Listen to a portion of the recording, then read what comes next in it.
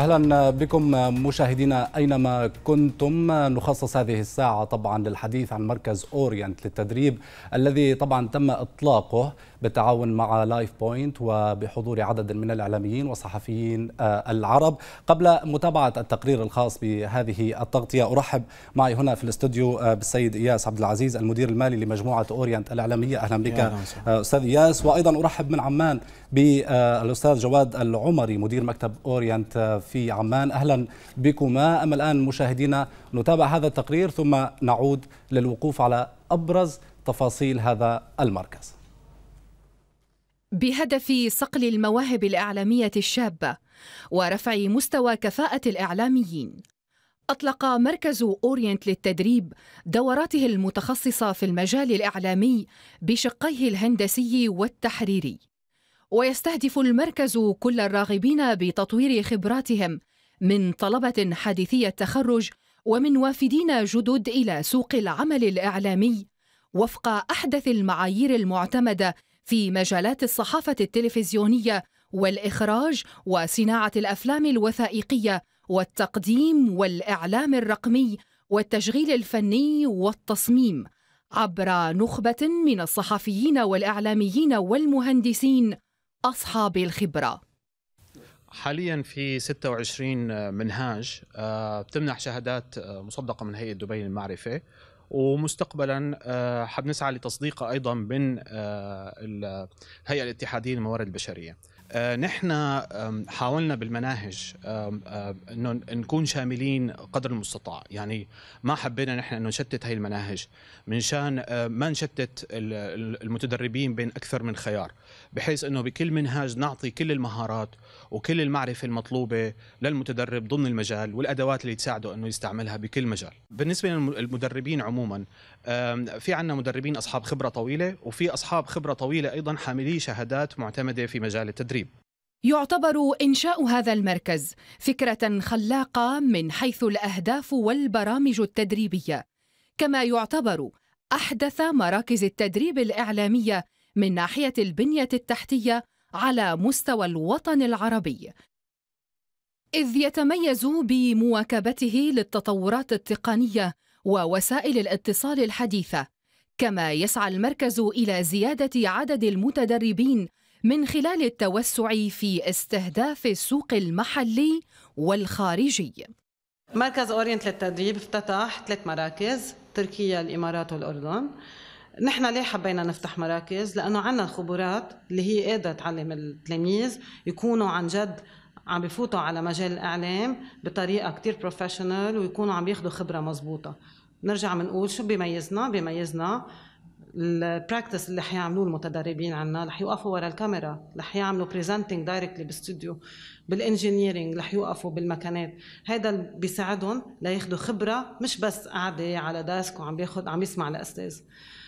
إضافة لهذا الشيء أكيد نحن نساعد كل المتدربين وخاصة المتفوقين يلاقوا مجال عمل بالمجال الإعلام حتى نحن اورينت تلفزيون مستعدين نستقبل المتفوقين عنا بالإدارات بالمجالات اللي هن تعلموا فيها. وسبق لمؤسسة اورينت أن خاضت تجربة في مجال التدريب الإعلامي عام 2010 بشراكة فرنسية عبر مركز اورينت ESJ ويسعى المركز الجديد لعقد شراكات مع مؤسسات ومدارس إعلامية مختلفة بما يحقق الإضافة المطلوبة فضلا عن توفير الاستشارات الإعلامية للمؤسسات الإعلامية لمساعدتها على تطوير قدراتها وتدريب كوادرها.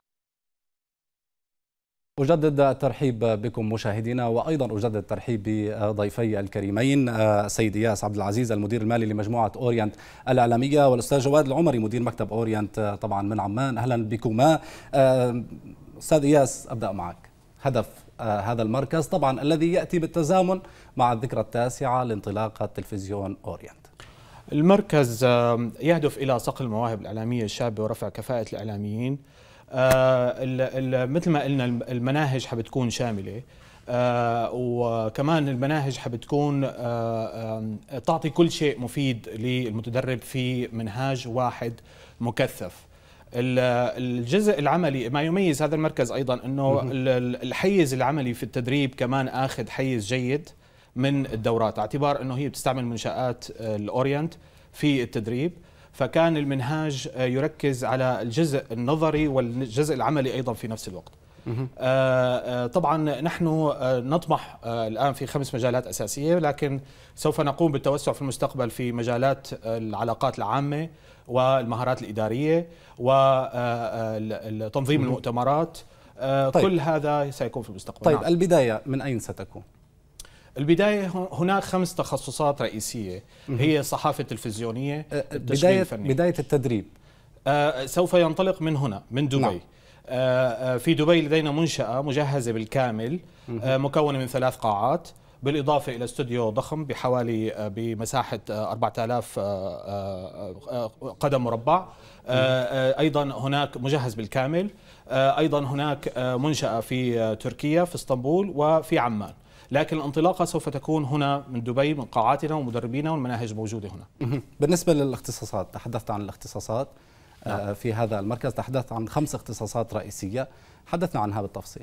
هلأ الاختصاصات هي مثل ما ذكرنا الصحافه التلفزيونيه الإعلام الرقمي آه، التشغيل الفني آه، التصميم والمهارات الإعلامية. آه، الصحافه التلفزيونيه طبعا هناك التقديم التلفزيوني والإخراج وغيرها وأعداد التقارير والتحرير. التقديم التلفزيوني سيكون على مستويين. المستوى الأول والمستوى الثاني. كما ذكرنا آه، قد تكون مدة الدورات طويلة نوعا ما لأنها تركز على الجانب العملي بالإضافة إلى النظري. طيب سنعود آه، أكثر آه، لتفاصيل برامج هذه الدورات. دعني أنتقل إلى الأستاذ جواد العمري طبعا من عمان. أهلا بك أستاذ جواد بداية مساء الخير أهلين أخي وسام. أهلا فيك. أستاذ جواد يعني أهمية وجود آه، آه، وانطلاق هذا المركز مركز تدريب للإعلاميين من المختصين وغير المختصين أيضا. آه، نعم الواقع أهمية مركز التدريب ال OTC اللي هو Orient Training Center يأتي لتكملة ما يتعلمه الإعلامي في الجامعة وكذلك لتطوير خبرات الإعلاميين الموجودين في الساحة. آه، الواقع أنه يعني من خلال اطلاعي على كثير من خطط التدريس في الجامعات آه، لاحظت أن الجانب العملي شبه غائب وأن الإعلامي عندما يتخرج من الجامعة لا يمتلك الأدوات التي يمكن أن تؤهله للعمل سواء في غرفة الأخبار أو في الميدان أو في التخصص الذي آه، درسه في الجامعة. لأن التركيز في الجامعات غالبا ما يكون على المواد النظرية. نحن هنا في ال OTC أو مركز أورينت للتدريب الإعلامي. سنركز على الجانب العملي. لا نكتفي بأن نقول نعم. للمتدرب آه، افعل افعل كذا ولا تفعل كذا آه، كيف يتصرف في الميدان. ولكن نضعه في التجربة الحقيقية التي نلاحظ من خلالها إن كان قد وصلته المعلومة وإن كان قادر على تطبيقها وتنفيذها وقد استوعبها تماما. أيضا في مرحلة تقييم تقييم عمله في الميدان نضع أمام الحقيقة كيف نعم. يتصرف هو في الميدان وكيف يمكن أن يطور مهاراته وأن يبني عليها وأن يكون يعني آه، إعلامي يمتلك الأدوات التي تؤهل للعمل فعلا. نعم. طيب آه، أستاذ جواد بالتالي آه، حضرتك كمدرب أيضا تحديدا في موضوع التقديم التلفزيوني ما الذي يمكن أن يضيفه هذا المركز للإعلاميين ولغير الإعلاميين ممن آه، يرغب بالتوجه نحو آه، الإعلام والصحافة آه، خاصة فيما يتعلق بالتقنيات الجديدة ومواكبة تقنيات العصر الحديث أيضا. الحقيقة أن هناك الكثير الكثير مما يمكن أن يضيفه. فيما يتعلق بالتقديم التلفزيوني على سبيل المثال المذيع غالبا في كثير من وسائل الإعلام هو مؤدي ومقدم يعني يقدم النص الذي يعد له يقدم نشرة الأخبار التي كتبها المحرر يقرأ الأسئلة التي أعدها لها له منتج البرنامج أو منتج الحلقة أو منتج النشرة. نحن لا نريد هذا النوع من المقدمين أو لا نريد هذا النوع من المذيعين. المذيع يجب أن يكون يمتلك الأدوات التي تؤهل في الحقيقة في الواقع لأن يكون نجم حقيقي. بمعنى أن ومعنى النجومية بالنسبة لي آه، المذيع الجيد هو المحاور الجيد.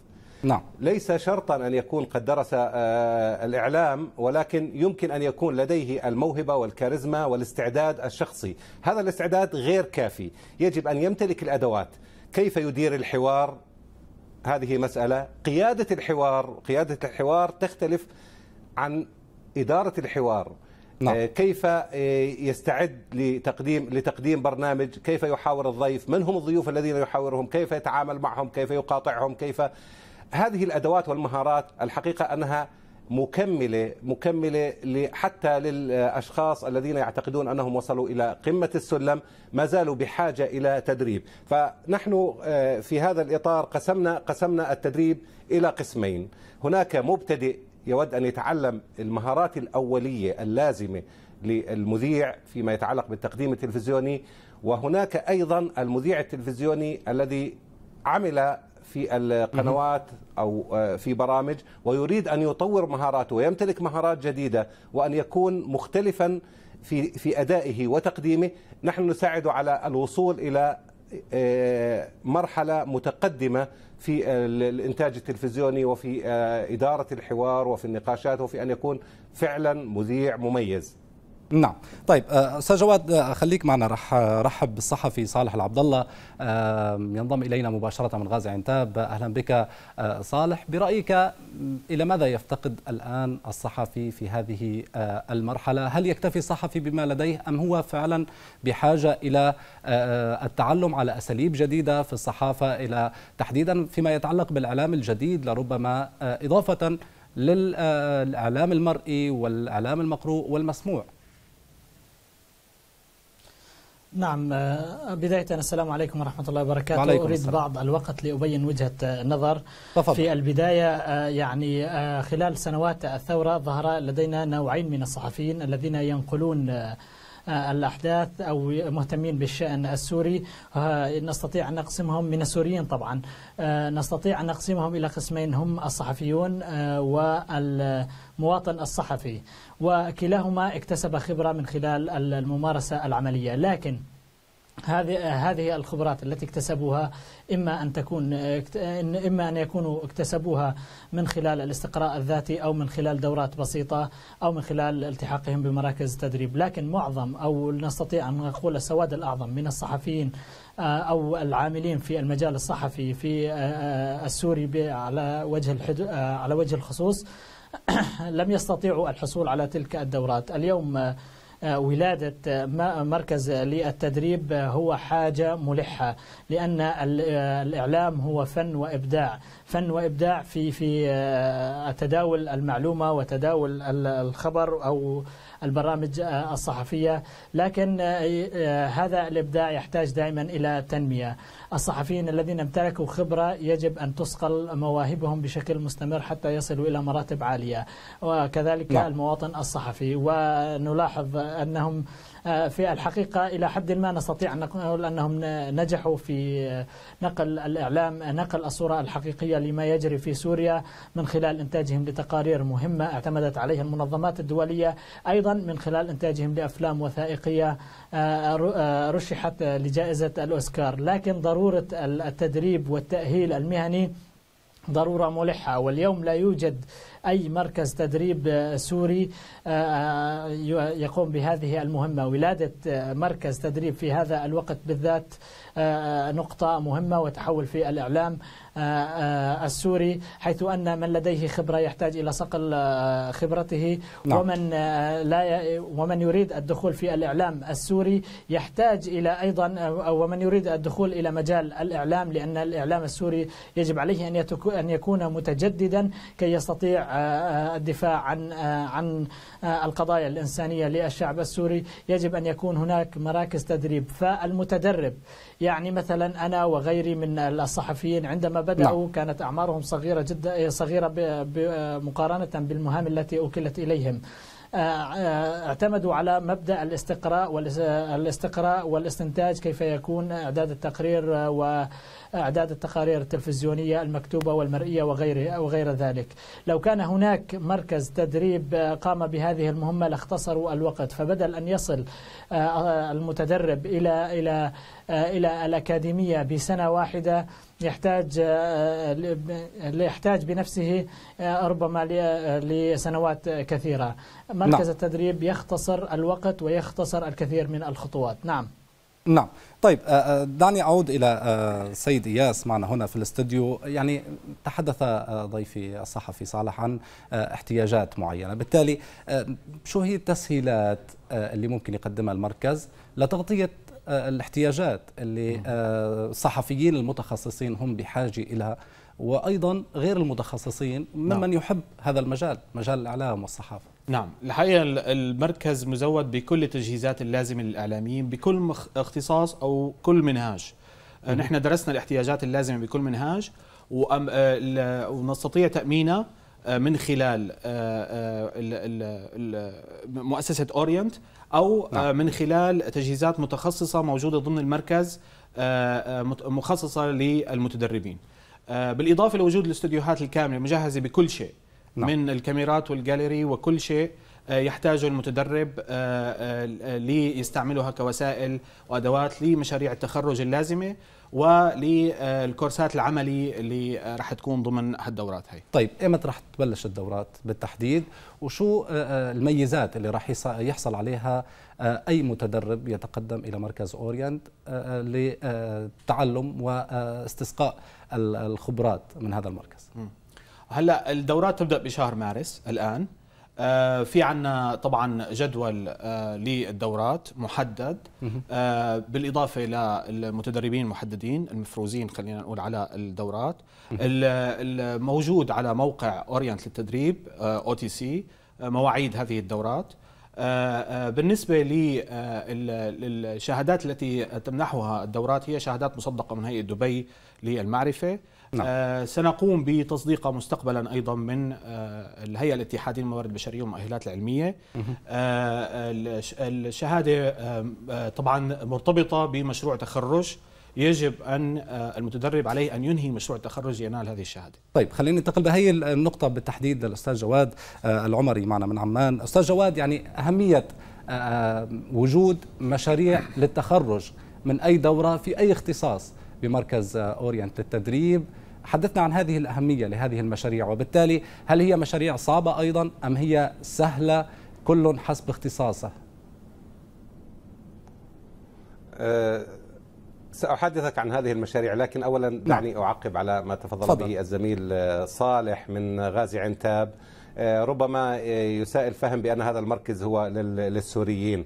الواقع أنه هذا مركز مركز إقليمي يعني وله يعني امتدادات له مكتب أو مقر في عمان ومقر في اسطنبول ومقر في مدينة دبي في الإمارات العربية المتحدة وهو يخدم كل قطاعات الإعلام ومخصص لتدريب كل الصحفيين العرب وليس مقتصر على السوريين فقط للتوضيح. وما تفضل به أيضا أخي الأستاذ إياس بأن المناهج تعطى في نهاية أو في نهاية كل دورة هناك شهادة وشهادة مصدقة. الواقع أهمية الشهادة ليس في تصديقها ولا في قيمتها المكتوبة على الورق ولا في إرفاقها في السيرة الذاتية. أهمية هذه الشهادة بأنه يكتسب مهارات مهارات عملية حرفية تؤهله للعمل في سوق الإعلام وأن يكون الأدوات التي يعمل بها مألوفة بالنسبة له. وهذا هو ما ما تفضلت بالسؤال عنه بأنه التمارين العملية أو مشاريع التخرج هي الواقع انه اختبار لمهارات الشخص التي اكتسبها خلال الدورة وتصويبها وأن يكون جاهز وقادر على ممارسة عمله بالأدوات الموجودة في السوق وليس بمعلو وليس مسلح بمعلومات نظرية بحيث أنه عندما يذهب كأن تعلم شخص السباحة نظري ثم تلقيه نعم. في المحيط ف لا يمكن أن يتذكر هذه المعلومات إذا لم يختبرها مسبقا ويكون المدرب إلى جانبه. نحن في في OTC أو في مركز أورينت للتدريب نمتلك الأدوات التي يعمل بها الصحفي في الواقع وندرب عليها ويكون يعني في بيئة عملية قريبة إلى مطابقة حتى للواقع الذي سيعمل به فهو يتسلح بالخبرة والكفاءة التي يمكن أن تكون هي آه، فاتحة الأبواب له للعمل في آه، القنوات سواء في إعداد البرامج أو في المجال الفني أو في المجال الأخبار أو في أي مجال آخر من الاختصاصات الموجودة في آه، مركز طيب. التدريب وهذا هو الواقع ما يفرق عن باقي مراكز التدريب التي أنشئت على أسس أكاديمية نظرية تماما كما أنشئت الجامعات. طيب أستاذ جواد في نقطة يعني مراكز التدريب دائما ما توصف بأنها تقليدية بعض المراكز وبالتالي آه، آه، تجارة ربحية آه، بعض المراكز تمتهن هذه المراكز أو هذه الدورات للحصول على المال ربما هناك من يصفها بأنها تقليدية كما قلت بالتالي هل هناك شيء يعني بعيد عن التقليدية قولا واحدا الواقع يعني الواقع أخي وسام يعني أنا آه، عندما آه، تحدثت قبل أسبوع مع أخي آه، إياس نعم. حول الرسوم أو بعثها لي الواقع أنني تفاجأت لأنها ما لاحظته أنها يعني لا تعتمد على جني الأرباح بمقدار ما, ما تعتمد يعني على تغطية النفقات. الرسوم قليلة مقارنة بمراكز أقل جودة وتعتمد على مبدأ الربح وأيضا يعني تحاول أن آه، يكون لها آه، اسم من خلال الإعلانات والدعايات والتواصل على آه، نعم. صفحات التواصل الاجتماعي وعلى وسائل الإعلان والدعاية أكثر مما يعني القيمة التي يحققها فعلا للمتدرب والتي يمكن أن تكون ذات فائدة في مسيرته المهنية. طيب آه، آه، سيد إياس عنده تعليق على نفس الفكرة نعم آه يعني باختصار سيد إياس لو سمحت مشان طيب. مشان الوقت بس مش أكثر من هيك وأيضا لو تحكي لنا عن الأسعار للدورات يعني مش بالتحديد أرقام يعني سؤال الأسعار سؤال كيف وراح تكون في فروقات بين دبي إسطنبول عمان حتى من ناحية الأسعار؟ نعم. تفضل. هلا بالتأكيد في فروقات بالأسعار نعم. وفي خصومات في البداية حبتكون مقدمة للمجموعات. آه، وحاب نراعي كمان ظروف إذا كان طالب آه، آه، للدارسين أيضا هناك أسعار خاصة. للعاملين في مجال الإعلام في المناطق التوتر الشديد أو في الداخل السوري أيضا. سوف يكون هناك دعم أيضا في برامج. لكن لما نحن حطينا الأسعار أو الدورات تعمدنا هلا باقي المراكز تقوم بتشتيت أو بتجزئة الدورات إلى دورات صغيرة نعم. أو المناهج الدورات صغيرة بحيث دائما يشعر الخريج من أي دورة أنه بحاجة تسجيل بدورة أخرى لحتى يستكمل تعليمه. فبالتالي هذا أسلوب تجاري آه، آه، يهدف إلى سحب أو جني أكبر مبلغ ممكن من المتدرب لحتى ياخذ دورة شاملة. إذا بنلاحظ نحن عندنا 26 منهاج ضمن خمس مجالات. آه، المناهج هي تعمدنا أن تكون شاملة قدر الإمكان ضمن رسوم معقولة أو قد تكون منافسة لباقي المراكز لكنها شاملة ليست مجزأة وليست مقطعة إلى محاور صغيرة وبأسعار مختلفة. طبعا كما ذكرت إنه في مراكزنا بتركيا في إلى خصومات وفي إله أسعار خاصة أيضا لعمان نعم. وبالنسبة للطلاب أيضا والمجموعات. طيب. أه بدي أتشكرك كثير على وجودك معنا سيد إياس عبد العزيز مدير مالي لمجموعة أورينت العالمية. أيضا الشكر موصول للأستاذ جواد العمري مدير مكتب أورينت. أه، كان معنا مباشرة من عمان. شكرا لك أستاذ جواد. وأيضا أه، شكر موصول للصحفي صالح عبد الله كان معنا من غازي عنتاب مباشرة. مشاهدينا سنذهب إلى فاصل قصير. من بعده معنا ضيوف جدد للتحدث أكثر عن تفاصيل هذا المركز عن تقنيات هذا المركز والمدربين بهذا المركز. بعد الفاصل نلتقي. يأخذ الكلمة والصوت والصورة إلى المدى الأقصى إلى الأثر الأقصى. مركز أورينت للتدريب يقدم لكم دورات متكاملة في التحرير الصحفي التقديم الإذاعي والتلفزيوني التصوير والإخراج التلفزيوني التواصل الاجتماعي. تأسيس وتشغيل منظومة البث التلفزيوني والإذاعي وإدارة المؤسسات الإعلامية. مركز أورينت للتدريب يفتح لك أبواب التخصص للوصول إلى مهنة المستقبل.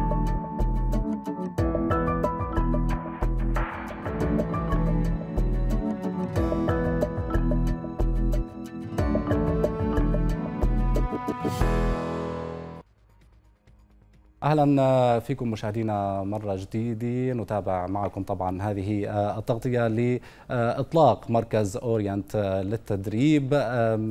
طبعا سنتابع تقرير من جديد ثم سنعود للضيوف. بهدف صقل المواهب الإعلامية الشابة ورفع مستوى كفاءة الإعلاميين. أطلق مركز أورينت للتدريب دوراته المتخصصة في المجال الإعلامي بشقيه الهندسي والتحريري. ويستهدف المركز كل الراغبين بتطوير خبراتهم من طلبة حديثي التخرج ومن وافدين جدد إلى سوق العمل الإعلامي وفق أحدث المعايير المعتمدة في مجالات الصحافة التلفزيونية والإخراج وصناعة الأفلام الوثائقية والتقديم والإعلام الرقمي والتشغيل الفني والتصميم عبر نخبة من الصحفيين والإعلاميين والمهندسين أصحاب الخبرة. حاليا في 26 منهاج بتمنح شهادات مصدقة من هيئة دبي للمعرفة. ومستقبلا حبنسعى لتصديقها أيضا من الهيئة الاتحادية للموارد البشرية. نحن حاولنا بالمناهج إنه نكون شاملين قدر المستطاع. يعني ما حبينا نحن إنه نشتت هاي المناهج منشان ما نشتت المتدربين بين أكثر من خيار. بحيث إنه بكل منهاج نعطي كل المهارات وكل المعرفة المطلوبة للمتدرب ضمن المجال والأدوات اللي تساعده إنه يستعملها بكل مجال. بالنسبة للمدربين عموما في عندنا مدربين أصحاب خبرة طويلة وفي أصحاب خبرة طويلة أيضا حاملي شهادات معتمدة في مجال التدريب. يعتبر إنشاء هذا المركز فكرة خلاقة من حيث الأهداف والبرامج التدريبية كما يعتبر أحدث مراكز التدريب الإعلامية من ناحية البنية التحتية على مستوى الوطن العربي. إذ يتميز بمواكبته للتطورات التقنية ووسائل الاتصال الحديثة كما يسعى المركز إلى زيادة عدد المتدربين من خلال التوسع في استهداف السوق المحلي والخارجي. مركز أورينت للتدريب افتتح ثلاث مراكز تركيا الإمارات والأردن. نحن ليه حبينا نفتح مراكز؟ لأنه عندنا خبرات اللي هي قادرة تعلم التلاميذ يكونوا عن جد عم بفوتوا على مجال الإعلام بطريقة كتير professional ويكونوا عم ياخذوا خبرة مزبوطة. نرجع بنقول شو بيميزنا؟ بيميزنا ال practice اللي حيعملوه المتدربين عنا رح يوقفوا ورا الكاميرا رح يعملوا presenting directly باستوديو بال engineering رح يوقفوا بالمكانات. هذا بيساعدهم لياخذوا خبرة مش بس قاعدة على desk وعم بياخذ عم يسمع الأستاذ. إضافة لهذا الشيء أكيد نحن نساعد كل المتدربين وخاصة المتفوقين يلاقوا مجال عمل بالمجال الإعلام. حتى نحن أورينت تلفزيون مستعدين نستقبل المتفوقين عنا بالإدارات بالمجالات اللي هن تعلموا فيها. وسبق لمؤسسة أورينت أن خاضت تجربة في مجال التدريب الإعلامي عام 2010 بشراكة فرنسية عبر مركز أورينت ESG ويسعى المركز الجديد لعقد شراكات مع مؤسسات ومدارس إعلامية مختلفة بما يحقق الإضافة المطلوبة فضلا عن توفير الاستشارات الإعلامية للمؤسسات الإعلامية لمساعدتها على تطوير قدراتها وتدريب كوادرها. برحب فيكم مشاهدينا من جديد وبرحب أيضا بضيوفي في هذا الجزء أيضا من هذه التغطية الأستاذ محمد منصور مدير البرامج في تلفزيون أورينت أيضا سيد زيد مستو المدير التنفيذي لمعهد مصداقية الصحافة من واشنطن. أهلا بك. وأيضا الصحفيه رنا نجار من من بيروت. أهلا بك أيضا رنا. أستاذ محمد بدي بلش معك بالتحديد الجزء الأول طبعا الصحفي صالح العبد الله تحدث عن أهمية هذا المركز بالنسبة للسوريين. طبعا هو غير مخصص للسوريين فقط هو مخصص للجميع بلا استثناء. بالتالي ما الذي يمكن أن يضيفه هذا المركز للسوريا وللسوريين بالتحديد؟ الحقيقة إنه الواقع الإعلامي بسوريا كان واقع مرير يعني حتى ما قبل انطلاق الثورة السورية. يعني نحن كنا يعني نحن نعرف تماما أن مهنة الصحافة في سوريا ليست مهنة المتاعب كانت مهنة المخاطر مهنة الانتحار آه، مهنة آه، أنه أنت يا بتصير مصفق ومطبل يا يا مصيرك السجن أو النفي أو الاعتقال. فعمليا ضمن هذا الواقع كانت مهنة الإعلام هي مهنة خطرة جدا. يعني مثل نعم. اللاعب على الحبال مثل اللي اللي بيمثلوا دوبلير الأدوار الخطرة في الأفلام. صحيح. آه، والحقيقة نحن كنا آه، حتى كانت آه، عملية تدريس الأعلام هي عملية مسيطرة عليها سياسيا. إنه أنت في معايير معينة لمن يدخل كليات الأعلام أو الصحافة. طبعا آه، آه، هذا لا يعني إنه كل من دخلوا هن كانوا مدجنين ولكن آه، كانت الأفضلية للمدجن، الأفضلية لمن سيصفق لإنجازات الحكومة، الأفضلية لمن يعتبر أنه ليس هناك فرق بين حكومة ونظام ورئيس، إنه هي نعم. بالنهاية في كتلة واحدة يجب أن تصفق لكل إنجازاتها وأن تغض الطرف عن كل عيوبها، والصحفي كان هو آه، شخص يعني أشبه برجل علاقات عامة. آه، معظم الصحفيين المهمين إما كتبوا آه، في صحافة عربية أو خرجوا خارج سوريا. الحقيقة مثل ما كان تلفزيون الأورينت هو نقلة في نقل صورة الشارع السوري والمواطن السوري. أيضا المركز هو عم يحاول الحقيقة يعالج آه، الآثار اللي ترتبت آه، في سوريا على آه، هذه السيطرة على الإعلام. فبالتالي نحن في مركز أورينت للتدريب يعني لن يكون هناك حضور للأيديولوجيا لن يكون هناك حضور لفكرة إنه أنت يجب أن تكون يعني أن ترى الأشياء البراقة وأن آه، تكون مروج إعلامي آه، التركيز الأساسي هو إنه هدول الشباب الناشطين اللي دخلوا بحالة الحرب آه، بحالة إنه شافوا نعم. في تعتيم شديد على مصادر الأخبار والمؤسسات المحترفة فقاموا في بدور الحقيقة نعم. إنقاذي ودور انتحاري طيب. هدول يحتاجون لأن يروا تجربة عملية وأيضا آه، التفاعل العربي يعني أورينت آه، صوت مميز بالفضاء نعم. العربي وبتصور سيفيد آه، طيب. المتدربين العرب طيب سنكمل الحديث في جزء آخر وهو جزء من اختصاصك في التدريب تحديدا بهذا المركز دعني انتقل إلى بيروت والصحفيه رنا نجار أهلا بك رنا معنا يعني لبنان بشكل عام هو رائد في مجال الإعلام منذ القديم بغض النظر عن الفترة الأخيرة وها التضييق الذي يجري على الإعلاميين أيوة، والصحفيين في لبنان بشكل عام. الآن ما هي الاحتياجات الحقيقية برأيك؟ يعني آه، اليوم نشاهد آه، هناك أناس تخرج آه، تصبح في هذا الحقل الحقل الإعلامي. لكن هل هي متكاملة؟ هل لديها الخبرة الكافية للخوض في هذا المجال؟ هل الشكل يكفي؟ هل يعني تساؤلات كثيرة. بالتالي الاحتياجات تحديدا برأيك آه، أول شيء مساء الخير وأنا مهنيكم على هالمركز وإن شاء الله يكون آه، آه، بادية منيحة للإعلام لأنه نحن مثل ما بتعرف هلأ بالعالم العربي كل شيء عندنا مراحل فيها فوضى. كل المناطق اللي فيها كان ثورات أو ما كان فيها ثورات كلنا عم نعيش مراحل انتقالية وخصوصا الإعلام لأنه نحن مش معودين كنا بكل الدول العربية حتى بلبنان الجزء الحرية هو جزء بسيط وليس مطلق. آه، فنحن كنا عم نعيش فوضى إذا بدك خاصة بالبلدان اللي كانت آه، معروفة آه، عندها أنظمة بعثية وانظمه ديكتاتورية بكل البلدان العربية تقريبا. فكان في نوع من فوضى بالإعلام ومثل إنه نحن شفنا شيء ما كنا بحياتنا نشوفه. يعني ما بحياتك شفت سواء واحد بسوريا عم يقدر ينتقد النظام أو الحكومة أو بشار الأسد أو النواب أو الوزراء. آه، فنحن آه، قدرنا نوصل هالشيء بوجود وسائل جديدة اللي منها نعم. ال social media تويتر فيسبوك آه، ولكن بنفس الوقت كان في إعلام تقليدي عم يتراجع اللي هو الصحف والتلفزيونات إذا بدك نحن بحاجة كنا بالعالم العربي للمصداقية اولا ولعدم التضليل ثانيا. وكنا بحاجة لخبر يقين وليس خبر بتفبركه أنظمة المخابرات بأي بلد كان.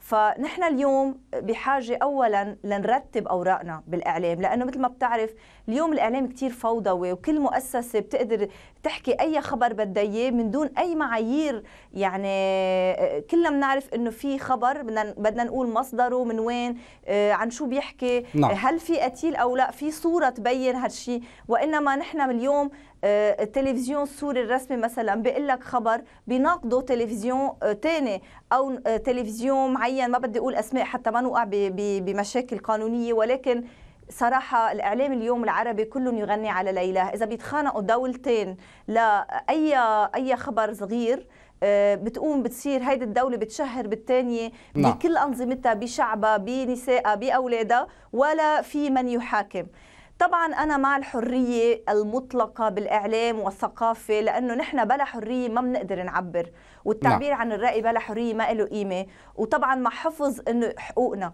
ولكن نحن اليوم بحاجة ل حقيقة يعني نحن بحاجة يعني لتدقيق عم تقصدي إنه يكون وبحاجة لمصداقية إنه يكون هناك دورات في دورات أخلاقيات العمل الصحفي أو فيما يتعلق بأخلاقيات العمل الصحفي. طبعا هل هذا طبعا. ما تودين إيصاله؟ اخلاقيات العمل الصحفي اولا. نعم. باي باي يعني نحن اليوم الجرايد عم بتموت الصحف عم عم عم إذا بدك عم عم ترجع يعني عم بتكون مش هي نعم. الأولوية ونفس الشيء التلفزيونات و ولكن عم بيكون بنفس الوقت في إعلام آه على الإنترنت website ات يعني حدث ولا حرج ما في أوقات في آه website ات بتسرق عن website ات نعم. ثانية بتسرق عن التلفزيونات طيب. يعني هيدي المهنة اليوم مش بس بحاجة عن إذنك بس مش بس بحاجة نعم. نعم. لمعايير أخلاقية ولا ولا حقيقة ولكن كمان والمصداقيه ولكن كمان بحاجة للتنظيم.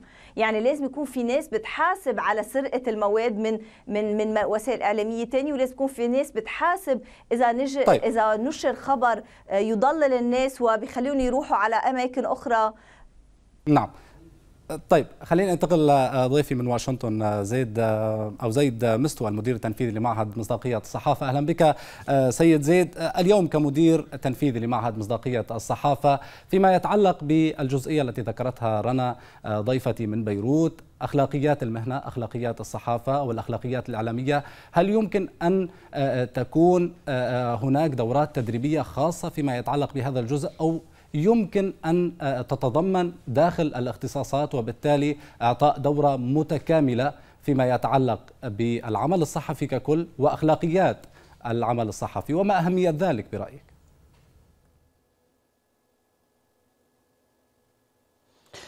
أهلا فيك وبضيوفك الكرام ومشاهدينك وبهنيكم على الخطوة لأنه بعتبرها خطوة يعني شكرا. مهمة في هذا الوقت تحديدا اولا بالمظلة العامة اللي هي الربيع العربي وثانيا بالوضع اللي عم تعيشه سوريا. طبعا مثل ما حكوا ضيوفك كثير مهم هلأ بهالفتره اللي عم يصير إنه يعني نحن سوريا أعطيك على سبيل المثال وربما بتنطبق بشكل نسبي من من دولة لاخرى ما كان فيها صحافة على من, من لما اجى حزب البعث وقن قانون قانون طوارئ والتغت فيها وسائل الاعلام فنحن من هذيك الفترة إلى أن نشأت سوريا يعني الثورة ما كان في عندنا وسائل إعلام يعني أستاذ محمد منصور سماها يعني مهمه مخاطئ أنا بسميها مهمه المستحيلات. ما كان في صحفي قادر يشتغل تحقيق أو يشتغل صحافة استقصائية أو يشتغل خبر أو يشتغل تحليل جوا سوريا إلا إذا كان عم يمشي باتجاه معين. نعم. فنحن هلا عم نعيش حالة عم عم نعيش حالة عم نعيش حالة انفتاح انفتاح تكنولوجي انفتاح ايديولوجي انفتاح معلوماتي فهي فرصة فعلا للصحفيين العرب يساهموا بتغيير الإيجابي في في نهضة الشعوب ونهضة الدول. نعم آه يعني مثل ما يعني هو طبعا سيد زيد لما بنحكي تقصد عن بأن يكون هناك تنوع في الاتجاه المحتوى الأول المقدم في الدورات التدريبية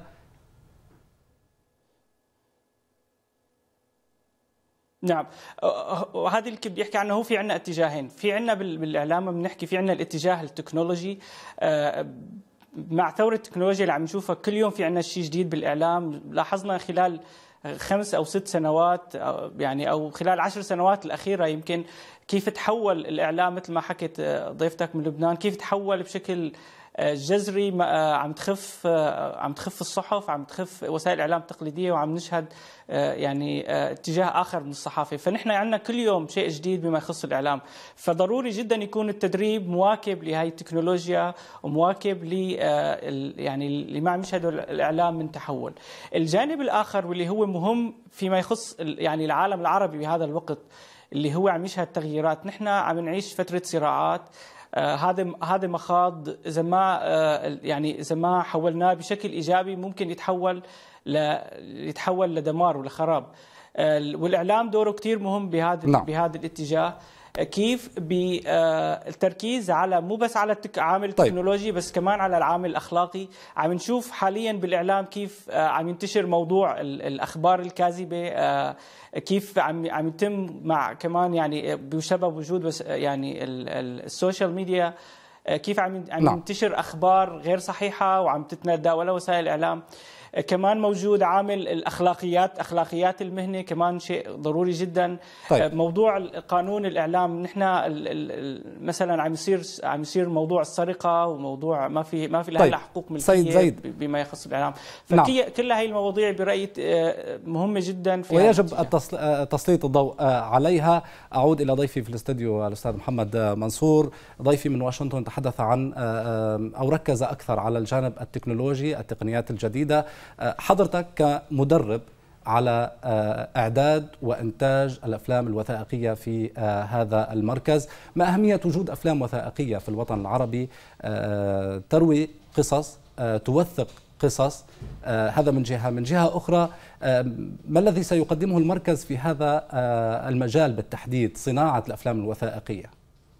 يعني الحقيقة صناعة الأفلام الوثائقية رغم إنه هي آه، آه، تصنف على أنه هي فن يعني آه، السينمائيين الأوائل الذين قدموا النماذج الأولى للفيلم الوثائقي قبل حوالي 100 عام في عشرينيات القرن العشرين أتوا من السينما نعم. واعتبروا سينمائيين ولكن الحقيقة الواقع ال ال ال القائم الآن يعني منذ النصف الثاني من القرن العشرين أصبح آه، الصحفيين يعني آه، مخرجي الأفلام الوثائقية أو منتجي الأفلام الوثائقية ياتون من الصحافة. نعم. آه، لأنه انتقل انتقلت تقنيات البحث الصحفي والبحث العلمي على أيدي هؤلاء لصناعة المادة الفيلمية. وبالتالي الفيلم الوثائقي الآن هو بمقدار ما هو فن بمقدار ما هو عمل صحفي. آه، من شان هيك أنا بدي أرجع أربط باللي حكى آه، السيد زيد والسيدة رنا نعم. آه، عن قصة أخلاقيات الصحافة الحقيقة اليوم بالساحة الإعلامية أي شخص يستطيع أن يستخدم تكنولوجيا إنتاج الأخبار أو كتابة المحتوى ينظر له على أنه هو شخص محترف نعم. دون النظر إلى آه، آه، قدرته على محاكمة المحتوى على معرفة القواعد النظرية على البعد الأخلاقي في هذه المهنة اللي هو أكبر من قانون.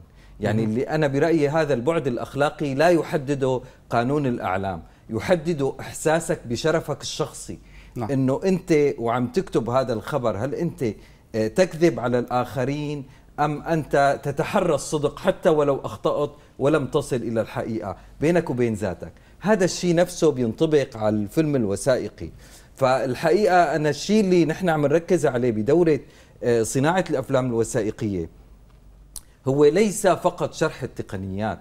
يعني كيف يكتب السيناريو الوثائقي وكيف آه، تكتب المعالجة وزوايا الإخراج. هذا هذا أمر يسهل تعلمه. ويسهل تعلمه نظريا وعمليا. ولكن ربط هذا الشيء آه، بإحساسك بالمسؤولية الأخلاقية. هي نقطة كثير بنركز عليها بالمنهاج. طيب. الشيء الآخر آه، نقطة مهمة وسام. نعم. آه، تحريض التفكير النقدي. يعني أحيانا أنت تذهب لتصنع فيلم فتقع ضحية خديعة. ليس لأنك ساذج. ولكن لأنك أنت تصدق ما يقوله الآخرين. تحريض التفكير النقدي عند الشباب اللي بعصر السوشيال ميديا صار عنده صفحة وصار عنده منبر وصار عنده متابعين بالآلاف وصار في يقول اللي بده إياه. هذا الشيء الحقيقة لغى فكرة إنه أنا ممكن راجع نفسي إنه أنا ممكن آه أنت قلت لي هذا الشيء آه حطه بميزان العقل المنطق آه الاختبار القياس كل هي الأشياء الحقيقة غائبة آه في العمل آه اللي عم بيصير فنحن عم نركز على الروح المتكاملة نعم. لصناعة الفيلم عند قديش فيك تعطيه مفاتيح ثقافية ونقدية طيب. لصانع الفيلم منتج الفيلم إضافة للأمور التقنية. بالتالي ليس كل فيلم وثائقي يتم إنتاجه هو وثائقي بالمعنى الصحيح للكلمة أو بما تحمله الكلمة من معنى. دعني أنتقل إلى الصحفي أحمد عاصي ينضم إلينا من غازي عنتاب. أهلا بك أحمد. يعني حضرتك كنت بالداخل السوري شو أكثر شيء كنتوا تحتاجوه بالفعل بالعمل الميداني بحاجة لأنكم تتدربوا عليه فعلياً أهلا وسهلا الله يسعد مساكم ومساء ضيوفك الكرام أهلا بك آه نعم الحقيقة يعني نحن آه دعنا بداية آه نتحدث عن خطوات كانت مهمة جدا في خط سير الإعلام السوري على حد يعني بوجه عام. القضية الآن بدأت في في في كونه أنه الحديث يتطرق إلى واقع الإعلام السوري خلينا نقول إن صحت التسمية أو صح التعبير. القضية أنه كان أحمد الإعلام بفترة سابقة اللي هي فترة قبل الواقع السوري تقريبا نعم. يعني معروف فيما يتعلق بما يجري على الأرض السورية. صحيح. دعني دعني أركز على احتياجات الصحفيين الناشطين في الداخل السوري. شو أكثر شيء ممكن يحبوا إنه يتعلموه يتدربوا عليه؟ وهو كان ناقصهم يعني. الحقيقة هو أنا أنا كنت أريد أن أصل إلى هذه النقطة نعم. لأمر ضروري لأنه حقيقة يعني عملية الهيمنة اللي كانت سابق التي سبقت الثورة على الإعلام من قبل النظام أدت إلى حالة من ال ال ال يعني خلينا نقول الحرية المفرطة لدى الناس اللي عاملين في المجال الصحفي. فأصبح لدينا عدد هائل من الناس الذين يعملون في هذا المجال. وبالتالي فإن الحاجة الحاجة لأشياء كثيرة بدأت واضحة في الساحة الإعلامية في في المنطقة. وأهم هذه الأشياء إضافة إلى المعدات والأدوات الصحيحة كان لدينا أهمية وحاجة ماسة جدا لقضية التدريب. لأنه نحن كما نعلم أنه ليس من الممكن أن تصنع صحفي أنت من خلال دورة أو من خلال مثلا تدريب لا يزيد عن مدة نعم. يومين أو ثلاثة أيام. قضية الصحافي بحاجة إلى عملية يعني تجريب وخبرة وممارسة بشكل طويل. طبعا وبالتالي كانت الصحفيين العاملين في في في في المناطق المحررة بالتحديد خلينا نقول كانوا بأمس الحاجة لأن يكون لديهم صحفيين مؤهلين ومدربين بشكل كامل ويستطيعوا أن يقدموا نعم. لهم من خلال خبرتهم وتجربتهم دورات يعني بكافة المجالات ولا سيما فيما يتعلق بقضية نعم. نقل الأخبار بطريقة صحيحة والنقطة التي أشار إليها قبل قليل الأستاذ محمد اللي هي قضية أن نصل إلى مرحلة بهؤلاء الصحفيين العاملين إلى قضية التفكير الناقد بحيث أنه نحن نستطيع أن نحصل على أخبار طيب. تكون دقيقة أحمد. وتكون صحيحة وتكون متوافقة مع الواقع وإلا طيب. فإذا كانت عندنا النقطة الأولى والإحتياج الأهم هو عملية التدريب. طيب. طبعا أحمد عملية انتهى التدريب وقتي. هذه أدت بأنه الصحفيين والعاملين. أعذرني. نعم. انتهى وقتي. سأنتقل بكلمة أخيرة لصحفيه رنا النجار طبعا ضيفتي من بيروت. شاهدتك تدونين بعض الملاحظات. تفضلي. نعم. بعجاله لو سمحت. اولا أنا بس كنت كنت حابة أقول إنه إنه الصحافة هي مهنة كثير متعبة وف...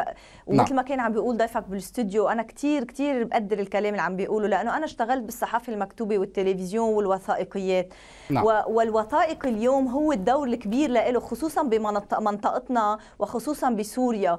والصح... والصحافة هو ما يفكر إنه رايح يتعلم. الصحيفة ليست مهنة وليست شيء بيتعلمه بالجامعة وبيخلص بعد أربع سنين. الصحافة كل يوم بيتعلم والصحافة هي حياة. يعني أنت إذا كنت صحافي وبدك وأنت ورايح على بيتك لقيت انفجار بدك تنزل وتشتغله حتى لو ما كنت أنت بتشتغل بالصفحة الثقافيه نعم. السياسيه فكنت بدي أقول هيدا الشيء مهنة وكنت كنت كمان بدي أقول شغلة إنه الثورة السورية غيرت كثير بأول الثورة السورية عملت مقابلة مع الوزير الثقافي السابق والأكاديمي المهم نعم. وخبير بالأمم المتحدة غسان سلامة. قال لي شيء ما بقدر ابدا أنساه. قال لي الثورة السورية عرت الصحافة اللبنانية اليوم اللي نعم. هي كانت الناس بتشوف حالها فيها وعرت الثقافة اللبنانية لأنه صار في حرية رأي ونحن اليوم الصحافة بتنقصها مثل ما قلت لك آه، دقة ومصداقية وكمان بينقصها جرأة وبنتحمل مسؤولية لأنه نحن لما نعم. نقرر نكون صحفيين مش نعم. معناته نحن موظفين بتنتهي دوامنا الساعة تنتين بعد الظهر لا أكيد هي مهنة آه، آه، سبعة أيام 24 ساعة رنا بتشكرك كثير رنا النجار صحفية رنا نعم حدثنا مباشرة من بيروت. أيضا الشكر موصول للسيد زيد مستو المدير التنفيذي لمعهد مصداقية الصحافة. كان معنا من واشنطن. وأيضا شكرا لك أحمد عاصي الصحفي طبعا. أحمد كان معنا مباشرة من غازي عنتاب. شكر موصول لك أستاذ محمد منصور طبعا مدير البرامج في تلفزيون أورينت. بالتأكيد آه، ومدرب أيضا في مركز أورينت. للتدريب بالتأكيد سنحاول الوقوف على كل هذه الاحتياجات في هذا المركز ونحاول تقديم آه، أفضل ما يمكن تقديمه للسوق آه، العالمية. الشكر أيضا لكم مشاهدينا على هذه المتابعة. إلى اللقاء. الكلمة والصوت والصورة إلى المدى الأقصى. إلى الأثر الأقصى. مركز أورينت للتدريب يقدم لكم دورات متكاملة في التحرير الصحفي التقديم الإذاعي والتلفزيوني. التصوير والإخراج التلفزيوني التواصل الاجتماعي تأسيس وتشغيل منظومة البث التلفزيوني والإذاعي وإدارة المؤسسات الإعلامية.